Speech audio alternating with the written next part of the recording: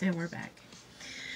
Uh, this one's a long one because, again, we have a lot to cover. But as I left off, um, you can see there's just so many layers of like mul- a multitude of generation uh, trauma. And um, you can see that Kreese, regardless of how people see him in the from the movie, he did have. Um, it wasn't just because Johnny was his his prize champion uh, and favorite, but there was like this. He took on a very fatherly role for for Johnny, who was brought up, you know, in this very kind of chaotic upbringing. Because even though he had his mother, who didn't abandon him, his father did, and he had to live in this household with his stepfather that didn't necessarily care for him. And he adopted or tried to adopt all the characteristics that he remembers as a kid. Few, very few memories he has of, uh, of his of his father, his biological father, and that's why also we see like these instances of like him being addicted to addicted to Coors beer because that's all he found of his father which we see in season four that his mother finds like all his little like tokens of his father that he had like kept as this little boy wanting to see his father again and and her saying he left us and he should just you know not be uh, anything to you. And she just takes all these mementos that he treasured and she dumped it. So these are all elements that would build his character of who he is um, and again very relatable how many how many people do we know like this in our lives um, and and then Kreese who also comes from like a checkered past, uh, issues with his own family, fled to the army, recruited himself, went to Vietnam. Um, you know, always trying. He was essentially the good guy, but through ex- experiences in Vietnam, he just became jaded. And um, even though he had this warped sense of no mercy, um, there's an instance where, yeah, he felt mercy or wanted for Terry Silver's character to have mercy when it came to him trying to beat him to a bloody pulp. And then he goes home. To, uh, Johnny's character goes home drunk and thinking about his own issues with his own son and uh, feeling guilty. And Miguel, who has stepped in, he's coming back from the prom and the whole and you got to see the prom the prom scene. This prom scene is everything. But he helps him onto because um, he had like collapsed in his living room and miguel picks him up and tries to kind of put him in bed. Very reminiscent to also the karate kid or karate kid 2 where um, mr miyagi also is inebriated so again these, all these little easter eggs are reminiscent of the movie or the movies, if you haven't seen them, it makes you want to replay them so you can see and spot these small instances. But unfortunately, Johnny is so inebriated that he thinks he's talking to Robbie. And that hurts Miguel, who also has his own trauma because he's been raised, even though he's been raised by a loving mother and grandmother, he doesn't have any, any kind of um, relationship with his father which then we find out much later, spoiler alert, that uh, his, his father, he found his father, he was able to find his father online, but um, his father doesn't have any recollection of him, doesn't even know that he exists because the mother fled the relationship because he was doing God only knows what. So we'll see. And we'll find out for season five, which again gives us more more to anticipate. And this is what how they're smart because they always leave these little easter eggs. So leaving you wanting more. Um so those are gray instances. And then leading up towards the tournament we see that um, terry's character is kind of coming back in the sense that However, he wanted to play dirty in Karate Kid 3. We're seeing him wanting to play dirty for the tournament too. And it being this total, he wants to run the do- dojo very like this totalitarian kind of way of thinking. It's his way of the highway, no mercy. There is no pain in this dojo, right? It's just like you're just not allowed to be a human being. Although essentially at first it seemed like he was trying to like apply whatever he learned in therapy uh, to kind of forget the trauma that was Kreese, it that sinister side is, is starting to kind of bubble up. And um, and almost and and then again there's this like another easter egg that is kind of left on a cliffhanger because stingray uh, who again we remember him from previous seasons is a much older student he is not a teenager most of the students are teenagers or, or even preteens um, he wants to be such a, a cobra kai so badly Kreese humiliated him and threw him out of the dojo and there's a heartbreaking moment there. So when he comes back crawling and saying, hey, look, I'm good with the guys. They want me on the team. Terry has had a number of drinks because Kreese stopped him from beating Johnny to a pulp. And so he beats Sting, Stingray, unfortunately, to a pulp, sends him to the hospital. But somehow he reaches out to him. and the biggest climactic scene towards the end that he somehow is able to manipulate Stingray into thinking, if you want to be Cobra Kai and we win the championship, I want to get rid of Kreese. Remember how he humiliated you? So you're going to have to point the finger that this beat down that I gave you, you're going to say, Kreese gave it to you. And then we're going to have him arrested. and somehow, Terry has shed his snake skin with Kreese and his allegiance to him. Because, yeah, they they um, even though the kids genuinely did win the tournament, um, Terry was still playing dirty and had um, bribed the referee because we see that towards the end. And who discovers it is, Tor- is Tori.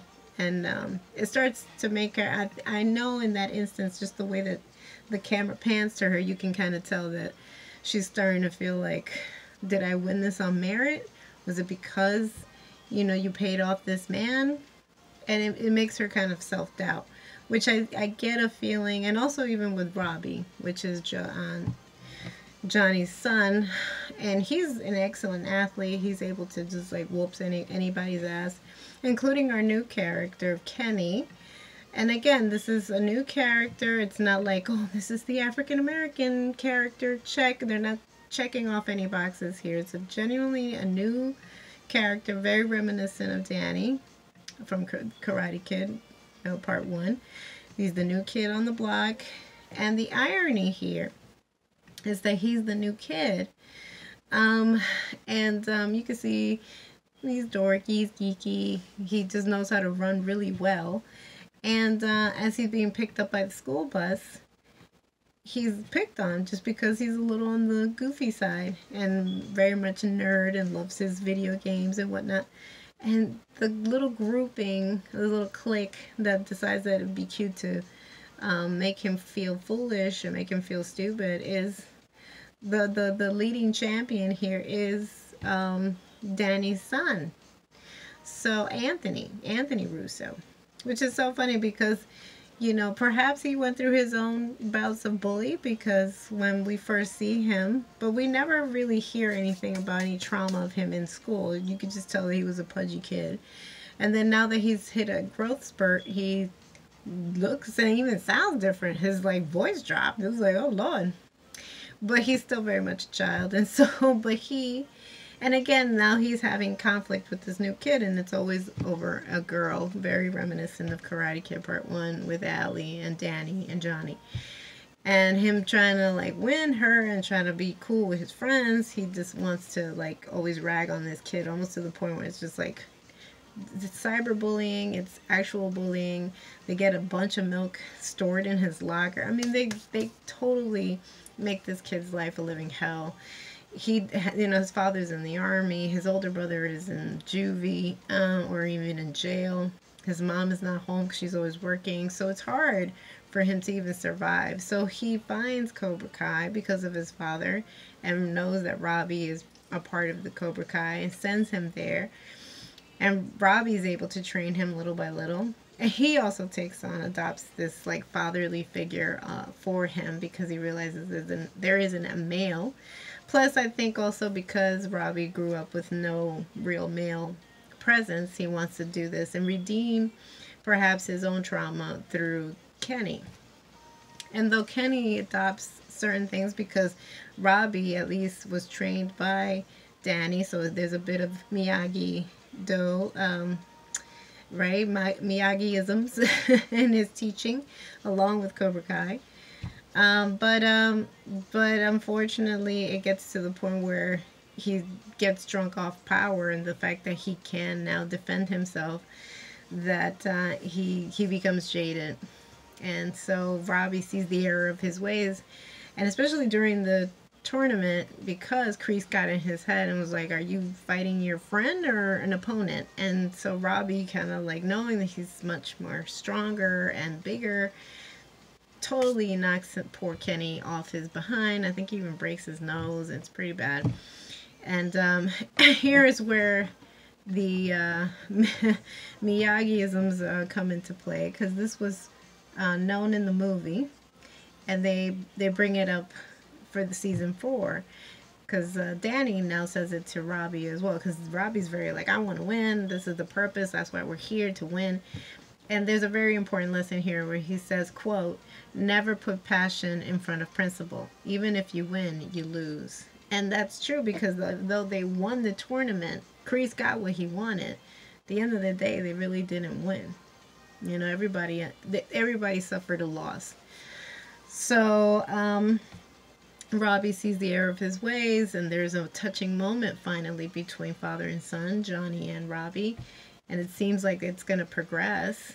There's a possibility there too that perhaps he might come back either to Miyagi Do or to Eagle Fan Fang, which is this horrible name that poor Johnny came up with because he couldn't, he wasn't Cobra Kai anymore although the teachings are very reminiscent of Cobra Kai. That's what that's what happens in the first few episodes because they're just kind of battling like you know you're all attack and you you know Miyagi uh, Do it's more on defense and it's just and then so it's just like two conflicting ways of teaching but there's a lot to be learned with both teachings. And this is where we see and this this is why I love this show because there's so much gray in this show that what you think sounds right or is the right thing to do you will be they will hit you with devil's advocate. And then you'll be like hmm is it is it 100% right and then we're also hit with the fact that you know Danny's very self-righteous and rightfully so because it came with all the that world history of Miyagi and uh, all that was incorporated into him that he infused into Ralph's character of Danny. But is it always right? Is it always fitting? And that's what um, where Johnny's input comes in because he's like, you always think you're right. Like you really think that it's just genuinely your way or the highway. And then, okay, I just want to stress this that the most anticipated scene is when we get the rematch. we finally got the rematch for this season because they've always said that Ralph won the tournament because of that illegal kick. And they always said if there was a rematch, if there was another opportunity for them to really go at it, who would really win? So I believe it's episode five or six. And they're all decked out in the original gis, Johnny's in black, Ralph's, uh, and um, Danny's in white, and they go at it. And it is the most anticipated episode. Honestly, they really gave the fans what has what we've been wanting, we've been drooling for the rematch of these two characters. And then at the end, for it to have ended the way. I'm not gonna spoil it for you. You gotta watch it for yourselves, but again, this show does not disappoint. Even the cliffhanger, how it leaves off with the possibility that Robbie and um, and uh, who else is coming back? I think. Oh, and Tori might flip on on Cobra Kai, because now who's running the show is Terry Terry Silver, and now that Kreese is in the in jail because of Stingray, they totally like pinned it on him. So we don't know how this is gonna pan out for future. And now that Cobra Kai is won, he wants to expand. He wants to have branches and just keep it moving. So we'll see how they'll come back to this. But honestly, the show and and Miguel, Miguel ended up not finishing the tournament, left because he injured his back, and then started questioning his relationship with Sensei, with Johnny. And then he opts to go find his father from Mexico, Mexico City. So we'll pick up season five in Mexico, which I believe they shot in Puerto Rico. But nonetheless,